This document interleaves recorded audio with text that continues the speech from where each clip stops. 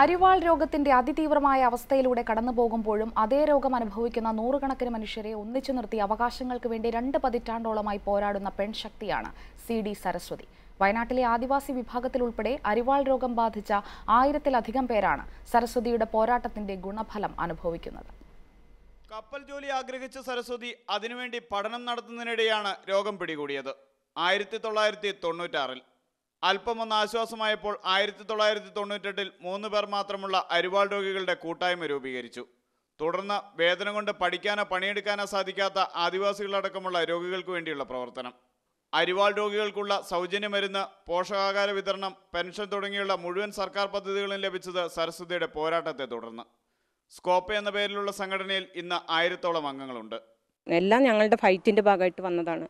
അതിൽ അതിലൊക്കെ ഇത്രയും ചർച്ച ചെയ്യപ്പെടുന്നുണ്ടല്ലോ. അല്ല ചർച്ച ചെയ്യുന്നതിൽ മാത്രമല്ല ഞങ്ങളെ ഈ സമൂഹം പരിഗണിക്കുന്നു അല്ലെങ്കിൽ ഏഷ്യാനെറ്റ് പോലുള്ള വലിയൊരു മാധ്യമം അങ്ങനെ ഒരു പ്ലാറ്റ്ഫോമിൽ ഞങ്ങളിത് ചർച്ച ചെയ്യപ്പെടുന്നു. അതിലൂടെ ഞങ്ങൾക്ക് ഇനിയും ഈ പൊതുസമൂഹത്തിന്റെ ഒരു ഭാഗമായി തീരാൻ കഴിയും എന്ന പ്രതീക്ഷയാണ് ഞങ്ങൾക്കുള്ളത്.